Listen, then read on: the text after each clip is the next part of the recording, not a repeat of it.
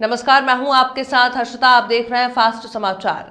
शिवपुरी ज़िले के कोरोना संक्रमण के पहले मरीज़ दीपक शर्मा अपने मनोबल की दम पर। कोरोना संक्रमण से तो जंग जीत गए, पर अपने पड़ोसियों और नजदीकियों के दुर्व्यवहार, बुरे बर्ताव के सामने उनका मनोबल टूट चुका है। और अब वो अपने परिवार के साथ अपना घर बेचकर जा रहे हैं। दीपक शर्मा ने अपने पड़ोसियों के दुर्व्यवहार के चलते घर पर बोझ भी लगा दिया है कि ये मकान बिकाऊ है। जब इस मामले पर दीपक के घर पहुंचकर उनसे बात की तो उनका कहना था कि वो कोरोना वायरस से सिर्फ़ अपने मनोबल के कारण स्वस्थ हुए हैं और उनका मनोबल जिला प्रशासन, चिकित्सक, नर्स, मीडिया द्वारा फ़ोन पर उनसे लगातार बातचीत कर बढ़ाते रहे। लेकिन जब से वो स्वस्थ होकर शिव कॉलोनी स्थित अपने घर आए हैं, तब से उनके पड़ोसी और नजदीकी उनके साथ दुर्व्यवहार, बुरा बर्ताव कर रहे हैं, जिससे वो आघात है। दीपक का कहना था कि ये बीमारी किसी को भी हो सकती है लेकिन हमें बुरा बर्ताव नहीं करना चाहिए।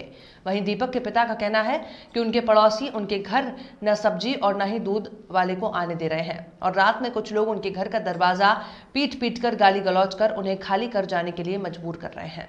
ऐसे निकले कि जिन्होंने बिल्कुल यानी कि अति कर दी जैसे कि यहाँ पे मनी से हैं ट्यूशन पढ़ाते हैं। हम्म, हम्म। वो जाके हमारे दूध वाले से बोले आए कि भाई उनको दूध मत देना उनकी मम्मी जी जहाँ से चलती हैं उधर से मत निकलना वायरस पकड़ लेगा उनके कदम जहाँ पड़ते हैं वहाँ पे भी चलना मत वायरस पकड़ लेगा उनके बर्तन मत छूना ये मत करना वो मत करना। हम भी जानते हैं कि किस चीज़ से बचना है किस चीज़ से से हाँ हाँ सही है। हाँ उसके बाद में मैं हॉस्पिटल में था सब्ज़ी वगैरह लिया। अब आदमी जिएगा कैसे? कुछ खाएगा पिएगा। तो उस टाइम पे भी कॉलोनी वालों ने कॉलोनी वालों ने नहीं कॉलोनी में ऐसा नहीं कि हर बंदा खराब हो लेकिन हमारे पास कुछ है ऐसे नाम लेना किसी को हाँ हाँ हाँ। हाँ। उन्होंने बहुत ज़्यादा प्रॉब्लम उठाई किसी ने बोला कि यार मम्मी बात किसी ने बोला कि है ना ये लॉक लगा रह जाएगा ऐसा हो जाएगा। तो इससे क्या आदमी का मनोबल डाउन होता है और कुछ नहीं होता? मनोबल डाउन होगा तो फिर प्रॉब्लम होगी।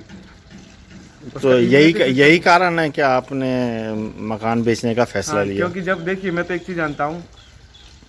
इस दुनिया में चाहे दोस्त हो चाहे कोई भी हो समाज हो कुटुंब हो रिश्तेदार हो सबसे पहले पड़ोस आता है। सही है।